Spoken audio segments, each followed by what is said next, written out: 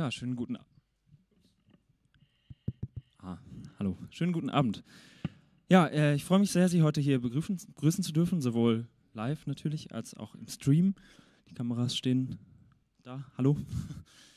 ähm, ich bin Arvid Meyer, ähm, studiere jetzt hier noch Trompete. Ähm, das ist mein Abschlusskonzert, also vom Bachelor. Ähm, ich freue mich sehr, den heutigen Abend äh, mit Ihnen zu verbringen und auch nach meinen Wünschen gestalten zu können. Und ähm, da habe ich mir Folgendes überlegt. Äh, schon im Grunde sehr lange Zeit, in der ich jetzt Jazz mache, treibt mich die Musik von Kenny Wheeler um. Das ist ein kanadischer Trompeter und Flügelhornist gewesen.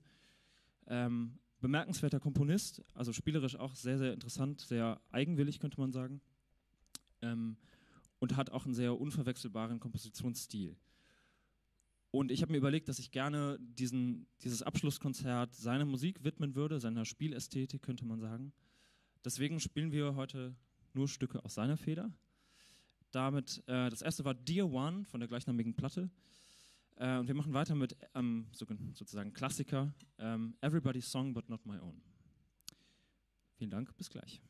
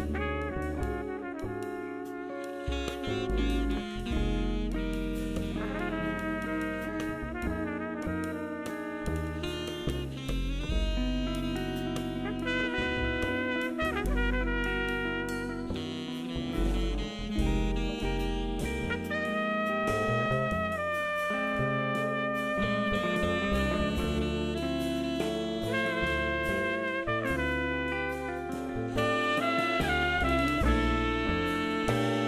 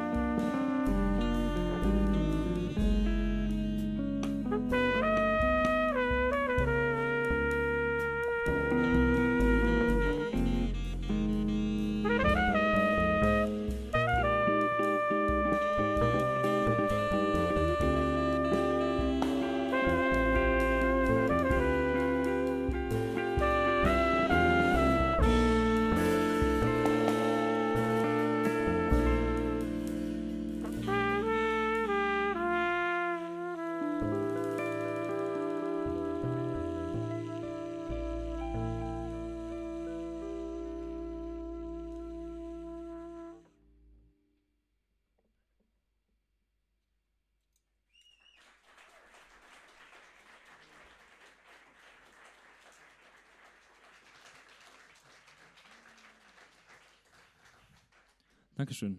Das war 114, eine, ich glaube, etwas ungewöhnlichere Komposition von Kenny Wheeler. Die ist zu finden auf einem Album, ähm, das heißt Island. Da spielt Bob Brookmeyer mit. Wer den nicht kennt, ist ähm, eine, ein sehr einflussreicher Komponist vor allem gewesen, aber auch ähm, er hat Ventilposaune gespielt. Also auch ein extrem seltenes Instrument, was man normalerweise nirgendwo so richtig findet. Also ich habe vielleicht in meinem Leben einen getroffen, der das gespielt hat. Ähm, ja, ich werde Ihnen jetzt mal schnell die Band vorstellen. Das habe ich nämlich noch nicht gesagt. Ich bin sehr froh, Sie gefunden zu haben. Ähm, es war ein bisschen kurzfristig alles. Ähm, bin sehr froh, dass Sie alle Zeit hatten. Und ähm, genau, das ist einmal Lauri Kaderlip am Saxophon, spielt Tenor und Sopran. Paulina Datos an der Gitarre.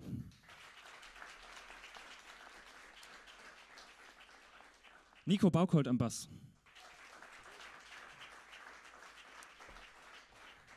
Und Bastian Menz am Schlagzeug.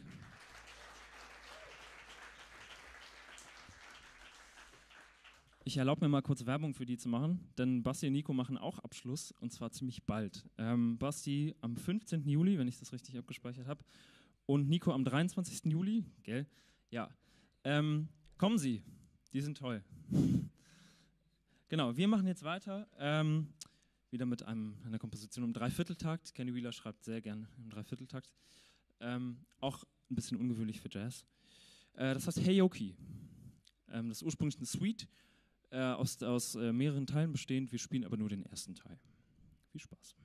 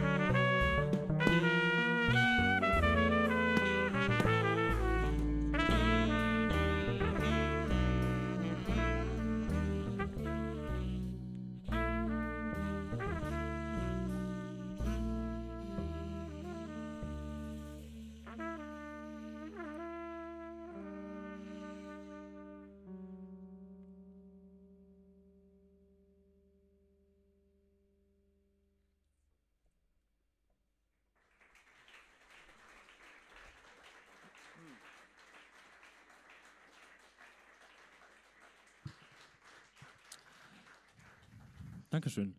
Das war Nicolette, auch von Kenny Wheeler.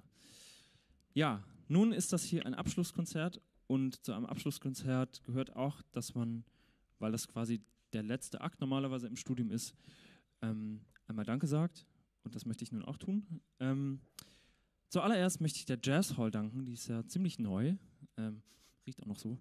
Ähm, einerseits, dass wir hier spielen dürfen natürlich, ähm, dass das Team da ist, äh, das A-Team, äh, dass wir Ton haben, vielen Dank, ähm, dass, äh, dass es für uns organisiert wird, beziehungsweise ähm, möchte ich dem, dem Jazzbüro danken, also dem, dem Organisationsbüro der Hochschule.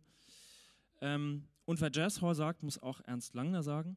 Ich weiß nicht, ob Sie es wissen, ähm, Ernst Langner ist ein Kunstmäzen, der hat vor allem, äh, dem hat es der Jazz angetan. Ähm, er steckt ziemlich viel Geld in die Jazzabteilung, kann man, glaube ich, äh, ohne Verharmlosung sagen. Unter anderem hat er auch den Großteil, soweit ich weiß, äh, des Geldes zum Bau dieser Jazzhall bereitgestellt. Insofern, ohne ihn wird es das hier gar nicht geben, deswegen möchte ich auch ihm Danke sagen.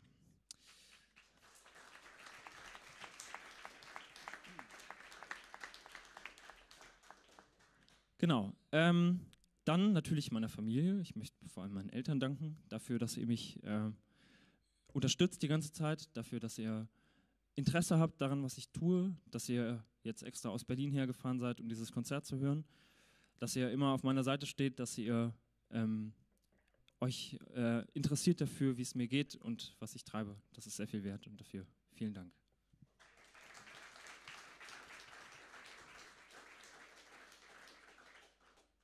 Ähm, dann möchte ich auch noch Reika danken, die ist leider nicht hier. Ähm, auch dir vielen Dank dafür, dass du mich unterstützt und hinter mir stehst. Ähm, das ist meine Freundin. Danke. Dann möchte ich einer äh, Person danken, von der ich nicht weiß, ob sie da ist oder nicht. Das ist Christiane Eiberger. Ähm, ich durfte nämlich in ihrer Stiftung, der Franz-Wirth Gedächtnisstiftung, eineinhalb Jahre Stipendiat sein. Ähm, und deswegen möchte ich ihr und ihrem Team auch sehr herzlich danken für die Unterstützung, die ich äh, erfahren habe. Ähm, ich habe sie eingeladen, ich weiß nicht, ob sie, ob sie Zeit hatte, aber vielleicht schaut sie ja den Stream. Schaust du den Stream, dann vielen Dank.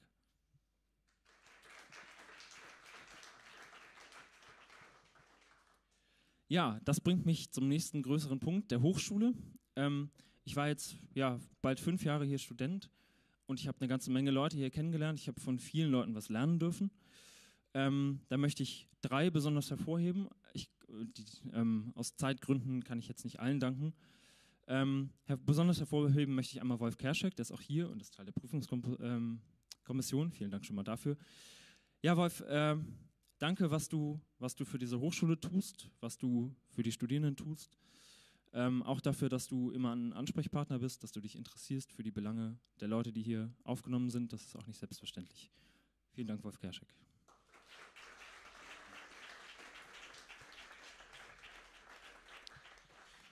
Ja, dann möchte ich noch Dankesworte richten. Ich weiß nicht, ob Sie jetzt alle wissen, wie so ein Musikstudium aussieht. Ähm, das ist ungewöhnlicherweise, deswegen auch ja relativ kostenintensiv, sage ich mal, ähm, bestehend aus viel Einzelunterricht. Also Trompetenunterricht habe ich immer alleine gehabt oder haben alle in ihrem jeweiligen Hauptfachinstrument alleine. Ähm, und hier in Hamburg gehört dann nicht nur Jazzunterricht, sondern auch Klassikunterricht dazu. Und da möchte ich zuerst mal meinem Klassiklehrer Eckhard Schmidt danken. Ich glaube, der ist nicht da, aber vielleicht hört er zu. Danke, Ecki.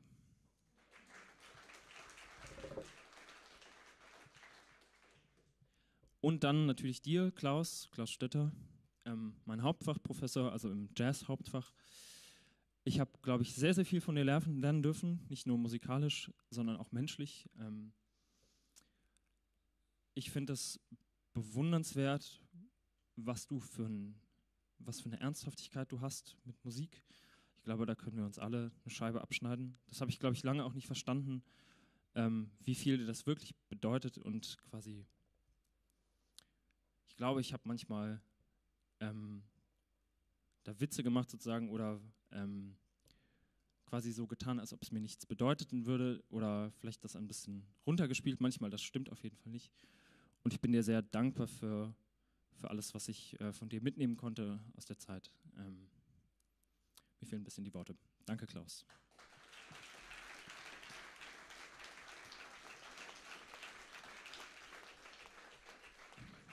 Ja, dann möchte ich noch, noch mal der Band danken. Ich stelle sie auch gleich noch mal vor. Ähm, wie gesagt, es ist immer, also was sollte ich hier alleine, ne? Ich, ähm, es ist eine Freude, mit so guten Musikern zusammenzuspielen. Es ist schön, dass ihr alle Zeit habt und Lust auf diese, diese Musik, diese Band. Ja, ähm, danke euch. Lauri Kaderlipp, Paul Linadatus, Nico Baukold und Bastian Menz.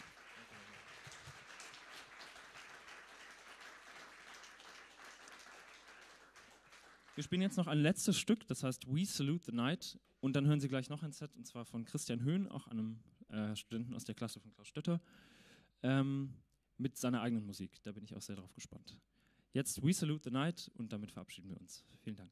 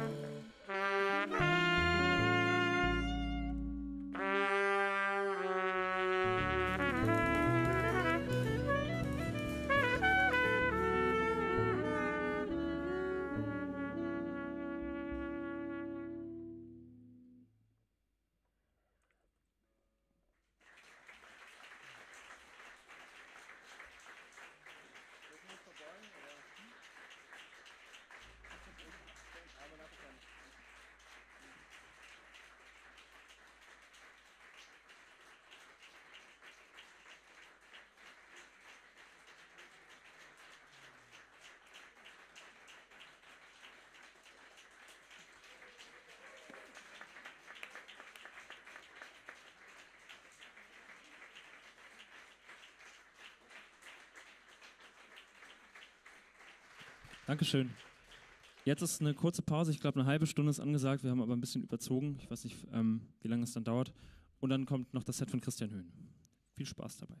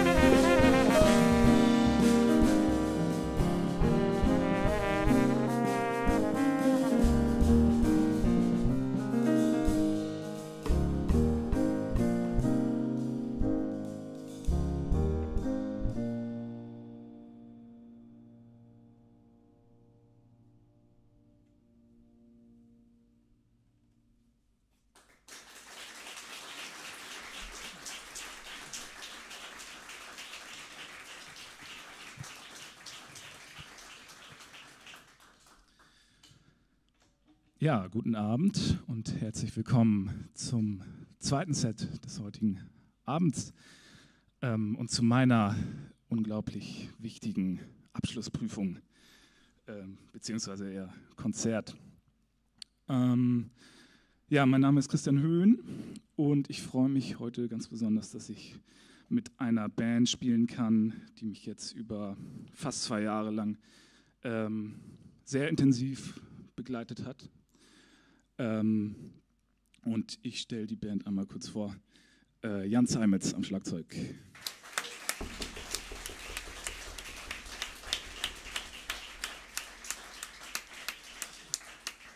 Lukas Kolbe am Bass.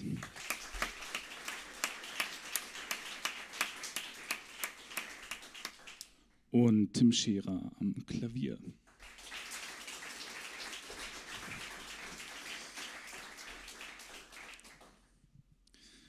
Genau, Arvid hat ja eben schon ein, ein wunderbares Set mit der Musik von Kenny Wheeler gespielt. Und was gibt es Schöneres als die Musik von Kenny Wheeler? Richtig, ähm, meine Musik. äh, nein, natürlich nicht, aber äh, vielleicht, man wird sehen. Ähm, ja, wir haben begonnen mit einem Stück, ähm, das hieß Roots and Wings und wir machen weiter mit meinem Lieblingsberg, viel Spaß mit K2.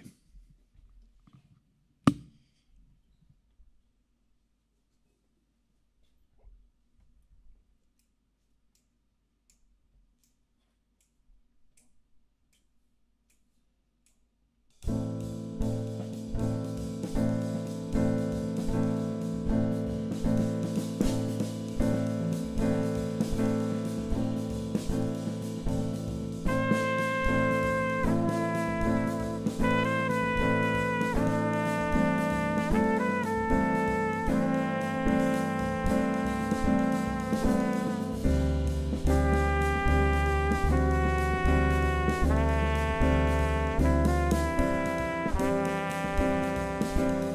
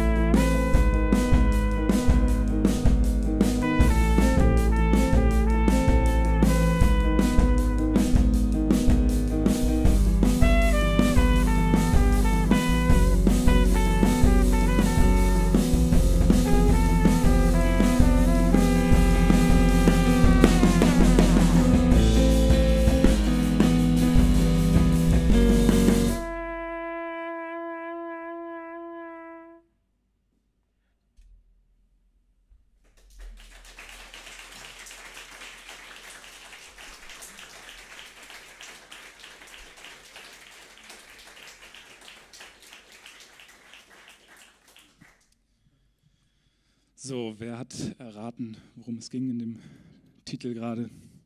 Richtig, es ging um Röntgenstrahlen. Ähm, das Stück hieß X-Rays. Und jetzt machen wir einen Themenwechsel Ähm, es folgt jetzt der, der Happy Song des heutigen Abends. Ähm, und ja, das Thema ist ein bisschen verrückt. Es geht um tanzende Auberginen. ähm, und, und ich fand den Titel so schön, weil er sich so gut reimt. Ähm, viel Spaß mit Eggplants Dance.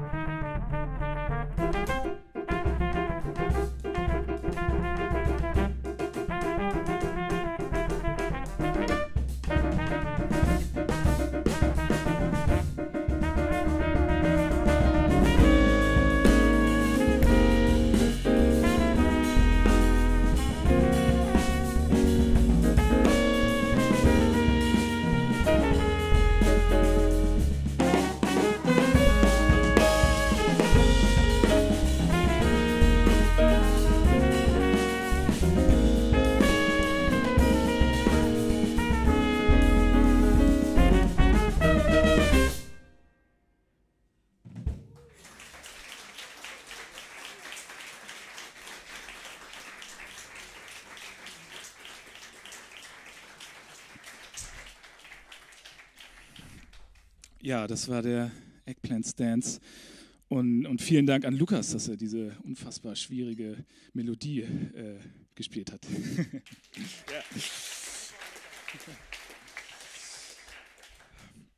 So, und wir kommen jetzt ähm, zu einem Stück, was relativ neu ist. Ähm, es heißt Torn Inside und es geht so ein bisschen um den, um den, ja, die innere Zerrissenheit äh, in mir vielleicht. Äh, ähm, genau, es verarbeitet so ein bisschen die Geschehnisse des letzten, ja, des vergangenen Frühjahrs. Das war ja alles so ein bisschen nervig. Aber jetzt ist alles toll. Viel Spaß mit Torn Inside.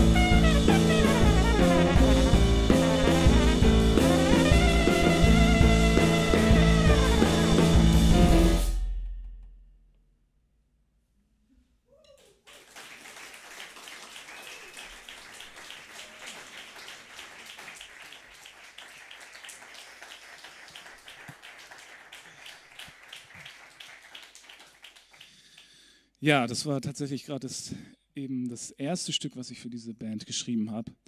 Und es hat einen super coolen Namen. Es heißt nämlich Superposition. Ähm, und wir kommen jetzt auch schon zum Ende des Konzerts. Ähm, ja, wir spielen gleich noch ein Stück, aber davor möchte ich auch nochmal Danke sagen an diverse Leute. Ähm, ich fange mal an bei Klaus Stetter, der hier sitzt und mich äh, ja, vier Jahre lang unterrichten musste. Ähm, ja, ich habe unfassbar viel gelernt über, über, mich, über Trompete spielen, über Musik allgemein und äh, ja, vielen Dank für die schöne Zeit.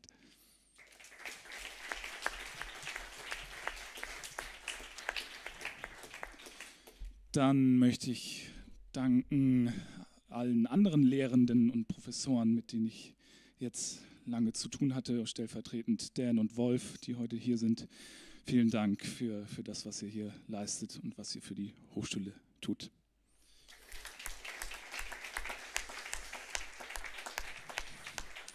Dann vielen Dank an Hamburg Stream, die das hier heute möglich machen, dass das im, im Internet verfolgt werden kann, das Ganze. Ähm, ja, vielen Dank dafür.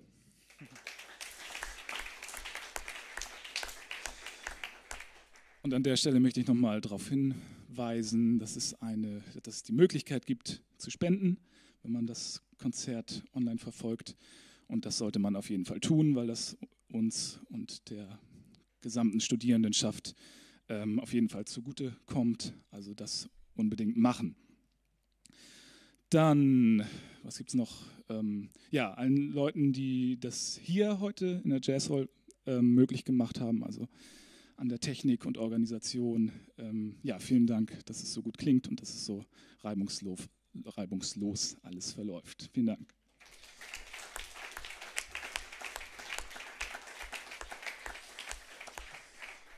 Dann auch ein großes Dankeschön an meine Familie, die heute ähm, zum Teil auch da ist. Ähm, ja, dass ihr mich so äh, lange unterstützt habt und dass ich äh, ja, immer bei euch willkommen bin.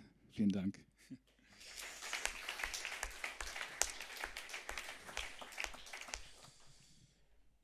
Gut, und dann nochmal ein großes Dankeschön an meine Band heute. Ähm, Tim Scherer am Klavier.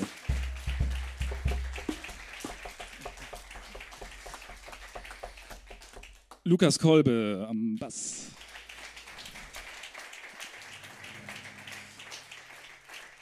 Und Jan Zeimetz am Schlagzeug.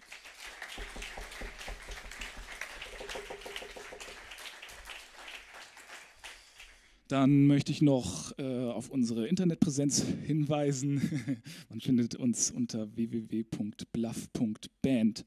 Ähm, da ist man auf jeden Fall immer informiert über das, was wir machen und folgt uns gerne auf Facebook, Instagram und YouTube. Ähm, das auf jeden Fall machen. Dann, ja, habe ich alles gesagt, glaube ich. Dann spielen wir noch ein letztes Stück. Ähm, und das, ja, hat einen Titel, den ich immer sehr, sehr ungern ausspreche, weil, weil der sehr ja, Sie, Sie werden es gleich hören. Also mein, mein, Bruder ist dafür verantwortlich, der sitzt ja auch. Der hat sich mal eine, eine, Liste ausgedacht an Stücken, also an Stück Namen, die ich mal so verwenden könnte, weil das ja immer schwierig ist, so, sich so Namen auszudenken. Ähm, aber das, was dabei herausgekommen ist, das war ähm, ja nicht so schön alles. aber ein Name war so, so furchtbar, dass ich den unbedingt verwenden musste für das nächste Stück. Ähm, also viel Spaß bei Artsy Bits of Bitterness.